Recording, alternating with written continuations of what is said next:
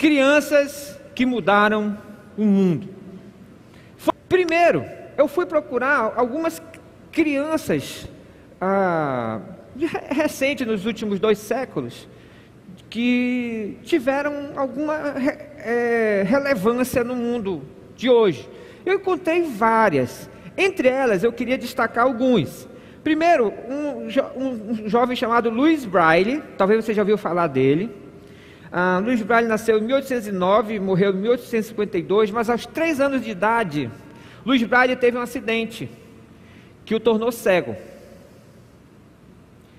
Mas isso não o impediu de, antes dos 12 anos de idade, criar o alfabeto Braille, que é um que os cegos leem com os dedos, com as pontas dos dedos. E em 200 anos, pouca coisa mudou daquilo que ele criou com, com 12 anos e mudou a vida de muitos cegos até hoje.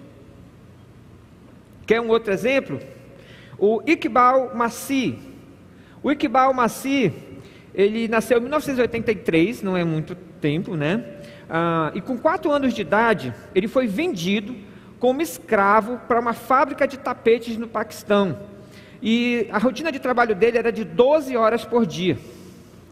Aos 10 anos de idade, ele conseguiu fugir e ele expôs ao mundo a, essa, essa coisa que faziam, né, essa escravidão. E devido às suas ações, de, ele conseguiu libertar mais de 3 mil crianças. Infelizmente, ah, antes dos 12 anos, ele foi assassinado pelos, pelos, pela máfia dos tapetes em seu país. Mas até hoje, o seu exemplo clama como um exemplo contra a escravidão infantil para muitas pessoas. Também no Paquistão, você já, dessa aqui com certeza você já ouviu falar, a Malala Yousafzai, eu não sei falar esse nome, desculpa aí, você que fala paquistanês, você pode me ajudar. Yousafzai, né? Dá nem para ler. Yousafzai, né?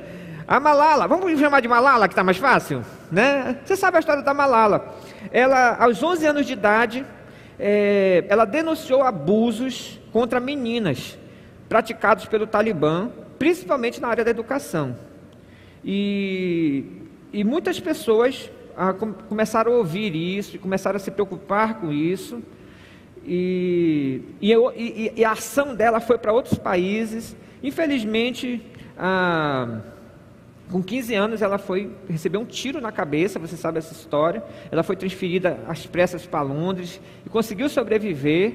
E hoje, ela foi a, a a pessoa mais jovem a receber um prêmio Nobel da Paz. E, e, foi considerada como uma das 100 pessoas mais influentes do mundo pela revista Time. Você diz assim: criança não faz nada? Criança pode sim mudar o mundo.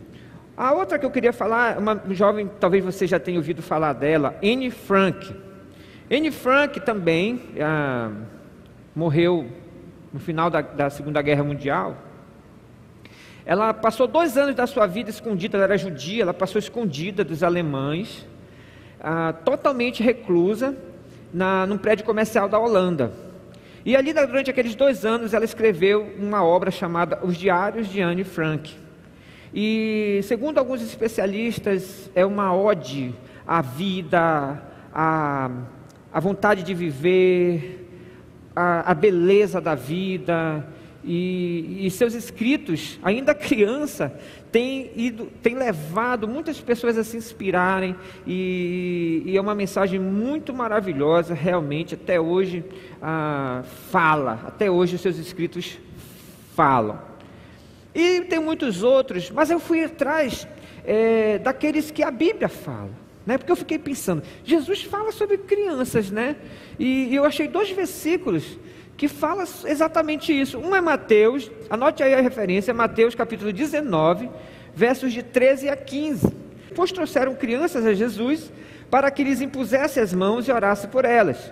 Mas os discípulos, discípulos os repreendiam. Então disse Jesus: Deixem vir a mim as crianças e não as impeçam, pois o reino dos céus pertence aos que são semelhantes a ela. E depois de lhes impor as mãos, partiu dali.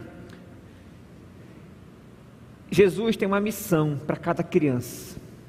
E olha, pelo que eu li aqui, quem não é semelhante às crianças, você pode dizer, eu não sou mais criança. Se você não for criança no reino dos céus, você não entra no reino dos céus. O que, que significa isso? Significa que você não controla a sua vida. Assim como uma criança não controla a sua vida, você não controla a sua vida. Quem controla a sua vida é Deus. O Edson e a Fernanda estavam quietos aqui em Manaus, vivendo a vida deles. Aí Deus diz: Eu quero um pastor lá na, na, na igreja em Fortaleza. E se eles controlassem a vida, eles diziam: Não, eu tenho uma vida aqui, eu tenho uma B, eu vou fazer isso, eu vou fazer aquilo e tal. Mas não. Eles vão, faz a vontade de Deus. Esse é um coração de criança. O coração de criança faz a vontade do Pai. E, e nós somos crianças de Jesus.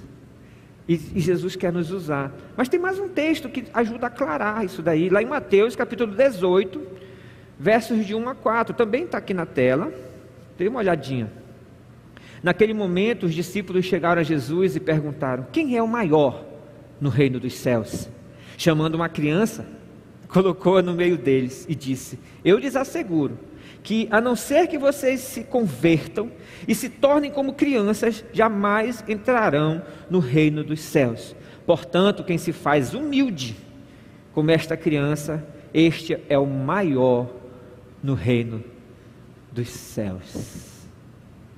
Aí eu fiquei pensando, se Jesus está falando que as crianças, é, realmente esse coração de criança faz alguma coisa, deve ter na Bíblia, então, e foi também isso aí que eu não achei nenhum pastor jamais, pelo menos porque, porque eu saiba, é, não vi ainda, né, explorou isso, eu não estou dizendo que eu sou o cara, não, com certeza alguém já, já, já estudou sobre isso, eu só sei que eu não achei, né, e, e olha que eu sei procurar essas coisas, mas eu fiquei assim encantado que tem muitas crianças na Bíblia que fizeram. Eu não consegui nem esgotar a lista. Ah, quando eu estava falando com alguém sobre essa mensagem, você falou do, do Josias? Puxa, eu lembrei do Josias, mas não falei dele. Você falou da Tabita?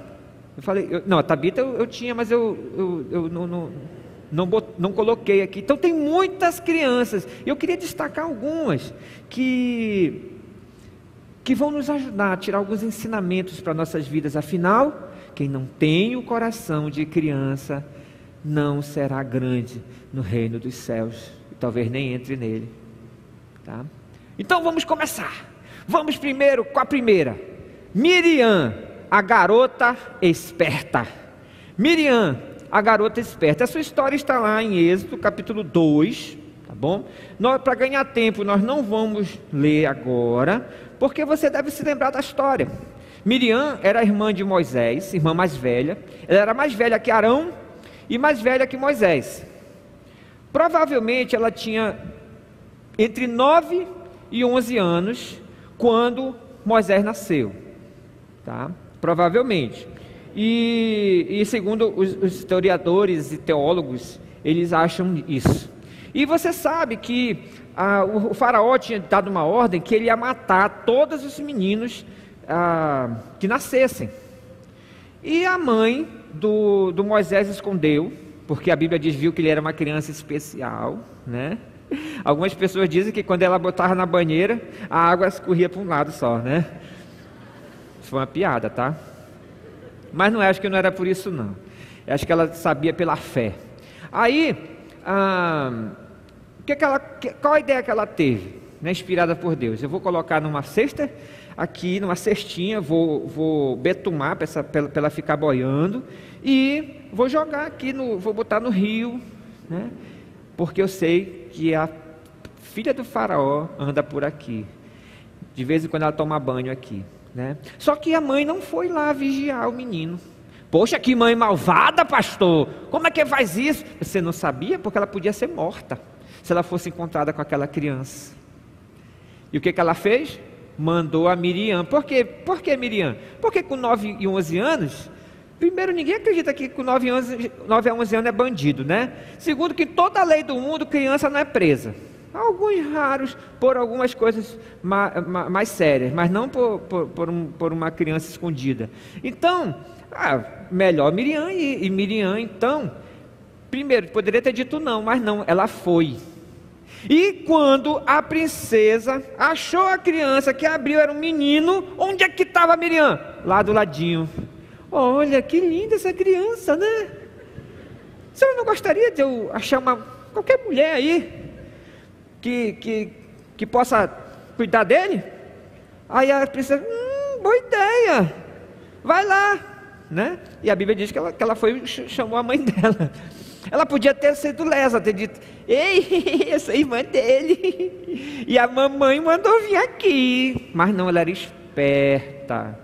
Né? Ela era muito esperta. E, e nisso a gente já tem alguns ensinos. Né? Seja esperto, novas jovens. Tá? Olha o que diz em Mateus capítulo 10, versos 16. Mateus capítulo 10, verso 16, está aí na tela para você.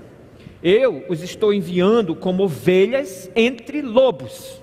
Portanto, sejam prudentes como as serpentes e simples como as pombas. Essa palavra prudente foi traduzida na, na NVI prudente, mas nas outras traduções está esperto. Seja esperto como a serpente, que é a mesma coisa. Prudente e esperteza e sabedoria é a mesma coisa na Bíblia. E deixa eu fazer uma pergunta para você. É um bom lugar para a ovelha estar perto de lobo? Sim ou não? Não. Mas Jesus disse: Mas, pastor Jesus não gosta da gente, por que, que ele mandou a gente para o lobo? Não, não foi que ele mandou. Ele avisou como é que ia ser. Afinal, nós ainda íamos viver nesse mundo. Ele lembra da oração dele? Eu não oro para que os, os, os tire do mundo, eu oro para que os livre do mal. Então, já sabia que no mundo ia ter essas situações, agora ele nos avisa. Para nós sermos prudentes, sermos espertos, como Miriam foi. Nós podemos olhar as coisas que podem acontecer, a gente tem que ter cuidado, a gente tem que ter time, a gente tem que ter esperteza, porque afinal, o objetivo do lobo é comer a ovelha. Você aí, Nova Jovens, bora ver se você é uma ovelha boa. Faz. Bé. Olha que lindo. Então, deixa eu dar algumas dicas práticas para você. Alguns insights que Deus me deu. Assim, não tem uma lista. Tem, com certeza tem mais coisas. Bota aí. Primeiro, desconfie de quem não conhece bem. Desconfie. Porque você pode ser alguém, um lobo fantasiado de ovelha. Então desconfie. Até você conhecer bem, até você ter certeza de que essa pessoa é, você, você tem que pensar: será que é um lobo? Não é, não é porque está com a Bíblia na mão, Satanás pega na Bíblia tranquilo. Tem gente que diz: Satanás tem medo da cruz. Não tem nada de medo de cruz. Ele vai vir com uma cruz aqui, entendeu? Ele vai vir segurando a Bíblia. Ele vai vir com a camisa da nova igreja batista. Se eu quisesse vir para cá pegar a menina, se eu fosse um, um, um, um safado, eu ia me, me, me entrosar com elas, entendeu? Então você tem que ter cuidado. E a Bíblia diz que você conhece o lobo, ou a árvore, pelo rabo, ou pelos frutos, pelos dentes, pelaquilo que ele fala, da forma como é que ele age. Então, você tem que ser esperta, meninas e meninos, mas principalmente as meninas. Não que vocês são burras, não, mas vocês são mais carentes. Vocês ouvirem uma música do Pablo, vocês já estão chorando, entendeu? Quem é Pablo, né? Nunca mais eu tinha ouvido falar desse cara. Acho que morreu de Covid, alguma coisa. Brincadeira, não sei. Outra coisa, foi, Deus foi me dando isso aí. Afaste-se da janela de carros. O carro parou do seu lado. Geralmente o que, é que você faz? Você está aqui, o carro para, você dá um passo para frente porque você quer ouvir. Hã? Nisso o cara te puxa. O carro, carro parou do seu lado, deu um passo para trás e digo, pode falar. E eu ainda faço assim. Pode falar. Você tem que, você tem que ser esperto. Você está andando. Aí você viu que o carro parou devagar perto de você. Aí lá ele fez um retorno. Não importa se ele é Uber, e só está fazendo retorno, você também faz um retorno, entendeu? Você esconde, você corre para onde tem gente, tá? Você tem que ser esperto, tem que ser esperto. Outra dica: tenha um bom network. O que é o network, pastor? Net, net é rede, work é trabalho, uma rede de trabalho, mas na verdade network é as pessoas com que você se relaciona. Então, você precisa sair da sua caixinha, das mesmas pessoas. Você tem que conhecer outras pessoas. Ah, as pessoas que têm um bom network, que conhecem todo tipo de gente, conhece desde do, do, da pessoa mais tipo especializada, como médicos, especialistas, quanto o, o, o a pessoa que está lá é, limpando, os serviços gerais, o serviço braçal, você conhece de todos. Olha a Miriam, a Miriam, vocês acham que a princesa do Egito ia tomar banho sem os guardas? Que nada, eu imagino que os guardas ficavam rodeando. Mas Miriam devia conhecer a amiga da princesa. E ela chegou lá e disse: Ei, amiga, deixa eu entrar aí, eu queria ver aí como é que tá as coisas, a princesa está tomando banho, né? E tal. Vai, mas entra aí. Tá. Eu conhecia porque ela tinha um bom network. Ela tinha o time certo. Então, sabe, gente, vocês precisam sair dessa caixinha.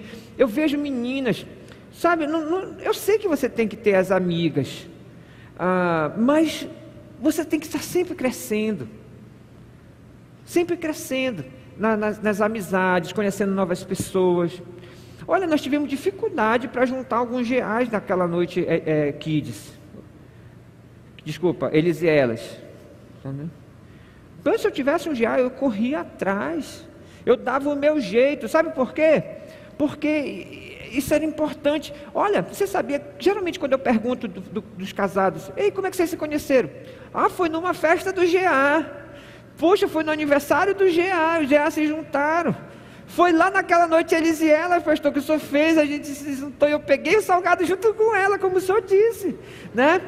E eu fico pensando nisso, e gente, você precisa aumentar seu network, isso é esperteza é, é também, tá?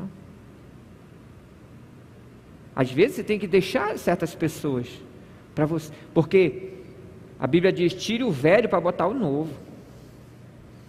Às vezes você tem que dizer não. Daqui a pouco eu vou falar sobre isso. Outro, não espere ficar adulto para aprender. Tem gente que diz assim: ah, quando eu tiver adulto, eu vou aprender. Não, você tem que aprender agora. Jovem um, jovem um. Gente, você está com a faca e o queijo na mão. Você tem um negócio aqui que, olha isso aqui, isso aqui. Pode ser uma, uma coisa ruim ou pode ser uma coisa maravilhosa para você. Hoje você, o conhecimento não está mais dependendo dos doutores. Hoje você pode achar no YouTube, doutor YouTube, doutor Google, entendeu? Se você souber achar as coisas, você, você vai é, ter esse conhecimento, você estuda, em vez de você ficar, sabe? Enquanto você ficar tempos e tempos nesses rios, Reels, Reels, é? Reels. E no TikTok, vendo dancinha e, e coisa legal. Tem vídeo que é legal, porque eu tenho, às vezes, o WhatsApp, eu ponho, né? Aí tem um que o cara pisa, quando ele sai, sai uma mulher lá, invocado. Tem uns, uns vídeos assim, você já viu esses vídeos, né? Eu nunca viu? Eu já vi uns vídeos assim. E, e, se você deixar, você passa horas vendo aquilo. Não, gente, cinco minutos, dez minutos, não tem problema se for santo né? Não tem problema, mas a tendência é você passar mais tempo do que é necessário. Você tinha que passar tempo estudando. Oh, o próximo ponto é aprenda a investir agora, mesmo com pouco. Todo jovem devia já ter uma conta numa corretora, entendeu? Já devia ter pelo menos 100 reais no Tesouro Direto. Olha, pode começar com 30 reais. Você diz, ah, pastor, mas não, não tenho dinheiro para aumentar. Não, não aumenta agora não. É só para você ter, porque quando você coloca o dinheiro lá, você vai querer aprender. Se você não sabe o que é IPCA mais, Ah, tesouro prefixado, tesouro IPCA com juros semestrais. Se você não sabe do que eu estou falando, se você não sabe o que é tesouro Selic, significa que você já está atrasado. Você precisa aprender. E hoje na internet você consegue aprender essas coisas. Depois você pode estudar bolsa de valores, você pode estudar fundos imobiliários, né? E não só isso, gente. O conhecimento bíblico. Hoje você encontra os melhores pastores. Antes, para você encontrar um pastor desse bom, até inglês, você tinha que ir lá nos Estados Unidos. Hoje, você pode ver a mensagem que ele pregou ontem. Eu posso ver a mensagem que o Rick Warren pregou domingo passado. Aqui, ó. E você, com tanto tesouro, não tem sido esperto. Então, preste atenção. Próximo. Samuel, o garoto que não se contaminou. Samuel, o garoto que não se contaminou. Talvez você pensou, quando ouviu Samuel, ah, não vai ser o ex-me aqui? Sim, foi surpreendente o que Samuel fez. Ele era obediente, solícito, respeitoso, ouvia a voz de Deus. Mas isso não é o que mais me impressiona na sua história. O que mais me impressiona na sua história é que ele não se contaminou, ele não se corrompeu. Lá em 1 Samuel 2,12 fala que os filhos de Eli, você sabe, né? O mau exemplo arrasta. Os filhos de Eli eram ímpios e não se importavam com o Senhor, mas Samuel não olhou para o mal, ele olhou para o bem. O que me impressiona em Samuel é que ele poderia ter se, se corrompido como os outros. Se ele quisesse, ele poderia ter sido rei de Israel. Ou ele poderia ter sido os filhos do Eli ao quadrado. Porque ele viu o que eles faziam. Mas mesmo assim ele não se contaminou. Jovem, quando você é uma criança espiritual, você precisa fazer escolhas. E com certeza Samuel fez as escolhas certas. Claro, além de tomar o leite da palavra, as coisas básicas, é, como uma criança normal, tem algumas coisas que toda criança, inclusive a criança, criança mesmo, precisa tomar. Deixa eu falar algumas delas só. Primeiro, os amigos que você anda. Leia comigo Provérbios 1,10, está aí na tela. Meu filho, se os maus. Então, tem gente aí? Vamos lá. Um, dois, três já. Meu filho, se os maus tentarem seduzi-lo, não ceda. Fale para a pessoa do seu lado, como se você fosse o pai dela. Meu filho, se os maus tentarem seduzi-lo, não ceda.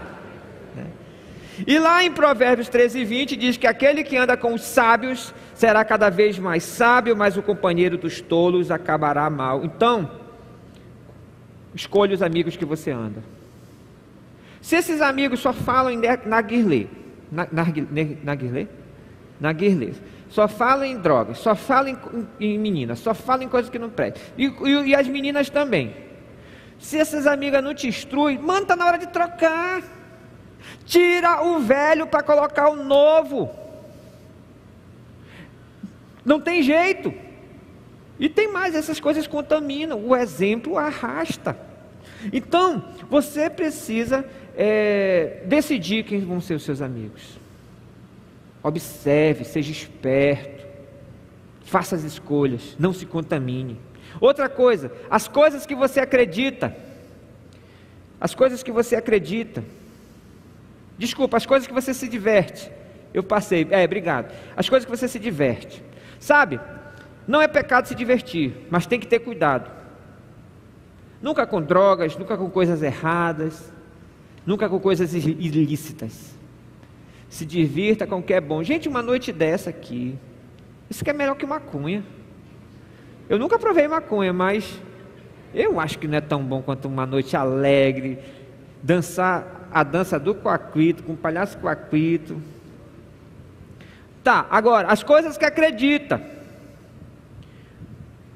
Lá em Provérbios 22, 6 diz: Instrua a criança segundo os objetivos que você tem para ela, e mesmo com o passar dos anos, não se desviará deles. Quantos jovens aqui ainda não fizeram 25 anos? Levanta a mão. Fica com a mão levantada. Esse versículo é para você. Você ainda é uma criança. Porque biologicamente você ainda não está preparado. E nem mentalmente. Pode baixar sua mão. Você ainda é uma, um processo em construção. Então significa que as coisas que você acredita, você precisa escolher. Sabe, eu, quando era jovem como você, tinha coisa que eu não entendia muito bem. Tinha algumas dúvidas. Mas eu acreditei que Deus me amava. Eu fiz até uma oração, de Senhor, eu não sei se essa igreja batista, chapada, que é o nosso nome oficial, né? Eu não sei, eu não conheço muito bem. Mas, Senhor, se não for uma igreja que te ama, que, que é verdadeira, então me tira daqui. E Deus já me disse várias vezes: esse era o lugar para você estar. Mas eu fiz essa decisão sem entender muito bem. Eu decidi fazer a vontade de Deus. Eu decidi acreditar naquilo que Deus me falou, não naquilo que o diabo falou, como nós vimos na mensagem passada. Outra coisa, as pessoas que lhe influenciam. Quem é as duas ou três pessoas que mais lhe influenciam? Para o bem. Você tem que ter cuidado, porque se você ouve, como nós vimos na mensagem passada, é, o mal, ou pessoas que querem ser o mal, fingindo que querem ser o bem, você vai se dar mal. Então, até as pessoas que lhe influenciam você tem que escolher. Sabe? Quando eu era um jovem iniciando, que eu nem era pastor ainda, vieram algumas pessoas, até líderes da igreja, tentaram me influenciar, tentaram me puxar para o pentecostalismo, tentaram me puxar para a rebeldia, tentaram me puxar para uma vida de hipocrisia. Mas sabe de uma coisa? Eu fui atrás de, das pessoas que me influenciavam para o bem. Eu tomei decisões de me afastar de certas pessoas, até mesmo líderes que não estavam bem com Deus. Faça as escolhas certas como Samuel, não se contamine. Próximo. A serva de Naamã, a garota evangelista. A serva de Naamã a garota evangelista. Amã era um chefe do rei do exército do rei da Síria. E, e, esse exército tinha trazido alguns cativos de Israel, e entre eles tinha uma menina. A, a Bíblia fala menina mesmo, como criança. E ela era escrava. Aqui na Bíblia diz serva, mas é, é escrava mesmo. E, e, e Naamã era leproso tinha lepra. E eu fico louco com essa menina, sabe por quê? Porque essa menina não se colocou numa posição de vítima, ela pode, podia ter dito: esse, esse, esse leproso veio, me pegou lá da minha casa, e agora eu estou aqui como escrava, esse desgraçado, devia morrer esse leproso, e ser tirado cada um dos dedos dele, a cada dia tirar um, para ele morrer, esse desgraçado. Mas vem uma meninazinha, criança, e nos dá um exemplo. Ela cumpriu ainda no Velho Testamento o maior mandamento, que é o amor. E Jesus tinha dito: ame seus inimigos. E ela já tinha amado o inimigo. E em vez de ela desejar o mal, ela desejou o bem. E disse: Se o meu Senhor fosse lá em Samaria,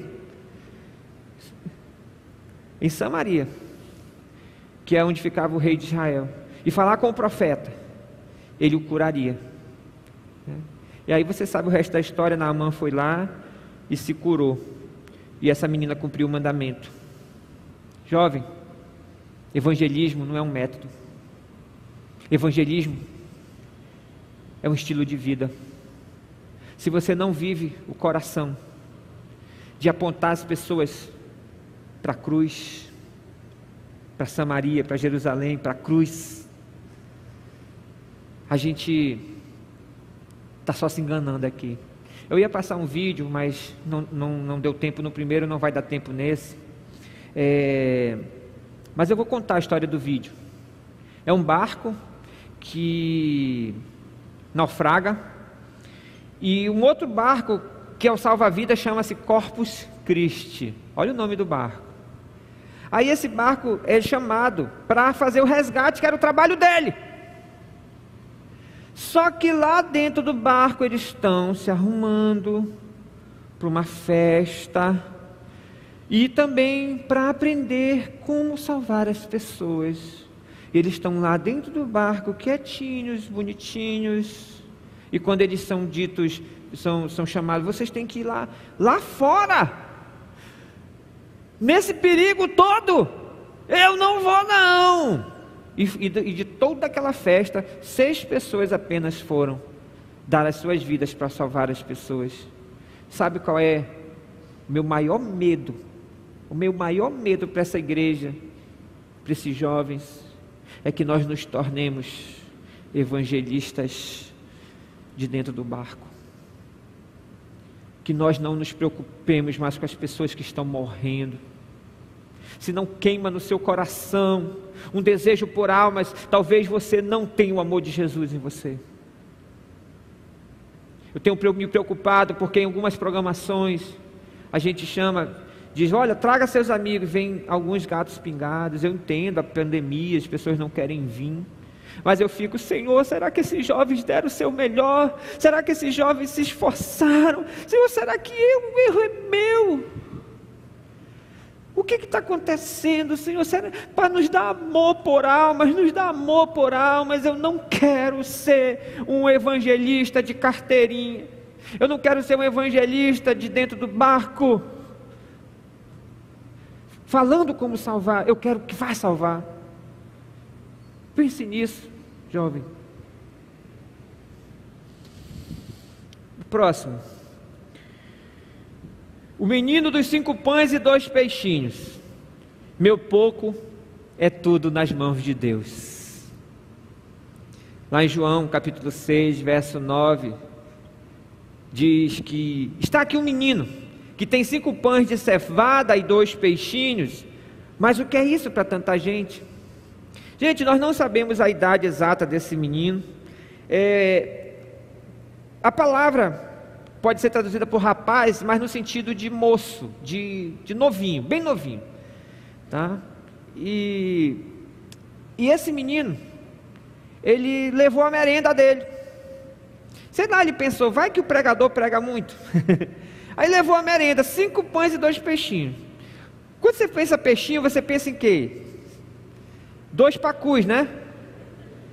Eu imagino duas sardinhas daquelas pequenas. e cinco pães, o que, é que você pensa para uma pessoa? Eu penso em cinco pãezinhos, desse, cinco pão de queijo daquele que a gente come assim já era. Ele bem pequenininho assim. Né? Isso que eu penso, a merendinha dele ali numa coisinha, porque ele vai levar uma coisa grande. E sabe, esse menino teve fé. Sabe por quê? Olha só o que, que André diz. Mas antes do que André diz, deixa eu falar o que, que eu penso. Ele, eu, eu acho que o menino chegou lá e disse assim: Ei moço, chamou André. Ele ouviu de alguma forma Jesus falando lá e, e, com, e com os discípulos lá: manda comprar, não sei o que, não tem todo mundo com fome. Ele disse: Eu tenho aqui cinco pães e dois peixinhos. Aí quando o André chega, diz: Olha, senhor, aqui está um rapaz que diz que tem cinco pães e dois peixinhos. Mas o que é isso para tanta gente? O bicho não tinha fé mesmo. Mas o menino teve. E entregou tudo que tinha, aquele pouco.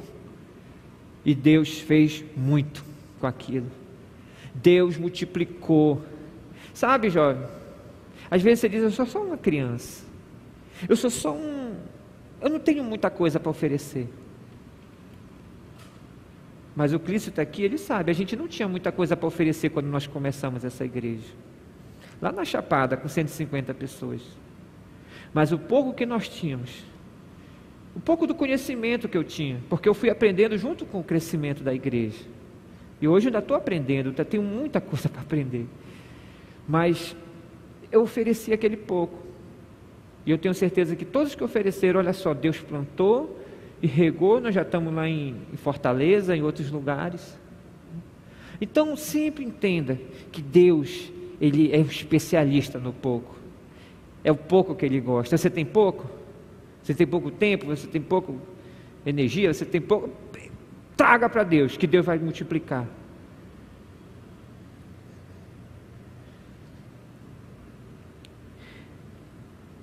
E o último, Jesus, para o alto e avante. Lá em Lucas, capítulo 2, queria que você abrisse, ah, Lucas, abra aí a sua Bíblia, e deixa aí no capítulo 2. E a gente vai começar no verso 40. Acharam? Lucas capítulo 2, verso 40. Diz assim: ó, O menino crescia e se fortalecia, enchendo-se de sabedoria, e a graça de Deus estava sobre ele. Está falando de Jesus, tá? Agora passa para o 52. Jesus ia crescendo em sabedoria, estatura e graça diante de Deus e dos homens. Deixa a Bíblia aberta aí. Sabe o que eu aprendi aqui? Que Jesus crescia por igual. Ele não se preocupava só com a parte espiritual. A gente vai ver daqui a pouco que ele se preocupou com a parte mental, de conhecimento, e se preocupou com a parte física também. Olha, Jesus nos dá um exemplo. Olha aí o verso 41. Todos os anos seus pais iam a Jerusalém para a festa das Páscoas. Quando ele completou 12 anos de idade, eles subiram à festa conforme o costume. 12 anos subindo e descendo. Pastor, mas o que é isso aí? Deixa eu olhar o mapa para você. São quase 150 quilômetros de Nazaré até Jerusalém, subindo ladeira. Hoje você faz 150 quilômetros, tem uma hora e meia no máximo. Naquele tempo era no mínimo, a pessoa que vinha mais rápido gastava dois dias. Ela tinha que dormir lá por perto de Samaria e depois descia no outro dia. Subia, quer dizer. É, ou, mas, mas normal mesmo com crianças eram dois dias ou três dias de viagem. Três dias ou quatro dias de viagem. Que seria três noites, duas noites ou três noites. Então, Jesus tinha que ter pique para aguentar essa, essa viagem. Desde cedo. Alguns de vocês, se Jesus dissesse assim, vamos ali de Samaria até, de Nazaré até Jerusalém, você não iria. Porque você não tem língua nem para chegar lá. E, e a parte de conhecimento? Jesus, aos 12 anos, aonde que ele estava? No templo, fazendo o quê? Fale para mim. Ensinando. Onde você aprendeu isso? Você aprendeu errado. Eu vou acabar com esse ensino do seu, da sua professora de EBD. Mas você não tem culpa não. Eu até essa semana também pensava, se me fizesse essa pergunta, eu dizer, estava no templo ensinando. Eu sempre imaginei essa cena, Jesus com uma régua na mão. Os, os, os, os mestres da lei sentadinhos, Jesus dizendo, olha isso aqui. E aqui tal, né? E os, os fariseus dizendo, é verdade, que menino inteligente. Nunca foi verdade isso. Pastor, você está pregando heresia. Vamos ler a Bíblia? Vamos ler a Bíblia. Olha aqui o verso 45. Não encontrando, voltaram a Jerusalém para procurá-lo. Depois de três dias, o encontraram no templo, sentado entre os mestres, ouvindo-os. Quem ouve está aprendendo e fazendo-lhes perguntas. Aí você coça a cabeça e diz, mas pastor, eu, eu ensinando. Não, esse ensinando vem do outro versículo que ele diz assim, ó, que os, os 47, que eles é, todos os que ouviam ficavam maravilhados com o seu entendimento e com as suas respostas. Porque eu imagino assim, Jesus realmente estava aprendendo, aí só que quando os fariseus falavam alguma coisa errada, ele dizia, mas não é assim não, é assim desse jeito. Tá? Então, de certa forma, ele estava ensinando sim. Mas o destaque não é esse. O destaque é que ele estava aprendendo, ouvindo-os. E sabe o que, que eu aprendo aqui? É que se Jesus quer que a gente seja imitador dele, a gente tem que estar bem fisicamente, mentalmente, no conhecimento e espiritualmente. Não é só uma parte, como uma jovem, uma mãe me ligou e disse: Pastor, o que vocês estão ensinando aí? Eu digo: O que foi? A minha filha disse que não vai mais estudar, porque o Senhor ensinou que é para buscar em primeiro lugar o reino de Deus e a sua justiça, e todas as coisas seriam acrescentadas. Eu falei, me dê o nome da sua filha que eu quero dar uns tapas nela. Que é isso? Eu nunca, eu já ensinei isso para vocês, que você largar a faculdade e tudo. Eu mando vocês fazerem tudo igual. Buscar em primeiro lugar de Deus significa é prioridade, mas não, nunca disse que você não tem que buscar as outras coisas. Então, busque ter um corpo melhor, busque ter uma mente melhor e busque ter um espírito melhor. Que essa seja a nossa oração. Coloque a sua mão no seu coração de criança agora e ore essa oração comigo. Feche seus olhos e diga assim: Papai do céu, muito obrigado, porque tu sempre me ensina. Eu quero ter um coração de criança. Me ajuda a fazer a tua vontade. Me ajuda a mudar o mundo. Se não for o mundo todo, pelo menos, pelo menos o mundo de muitas pessoas. Muito obrigado, porque tu me amas. Eu te amo também, papai. Em nome de Jesus. Amém. Que Deus te abençoe. Obrigado.